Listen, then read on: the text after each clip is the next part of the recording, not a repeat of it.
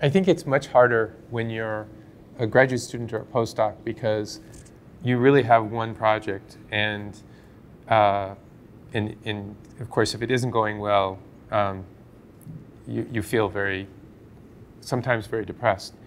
And I, so I think that particularly when I was a postdoc and maybe early a younger faculty member, when things weren't going well, uh, we certainly had periods where, you know, I, I, think I was down and depressed. But the the thing about science is that you can always, you can always, there's always another thing to try.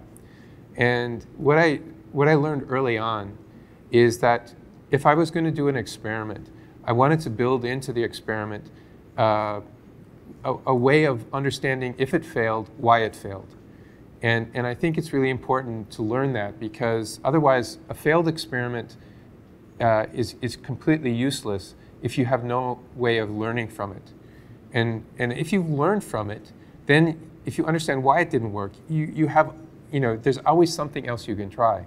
And I, I always was able to, um, you know, we had a lot of failures, but it was always possible to say, okay, this is why this failed. Um, and you maybe read and, and, and or go to other meetings and, and people will come up.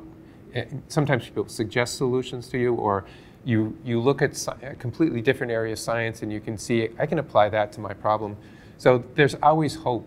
Uh, I've never been in a case, in a, in a situation where I felt like though there was definitely a wall that I was never going to be able to get around.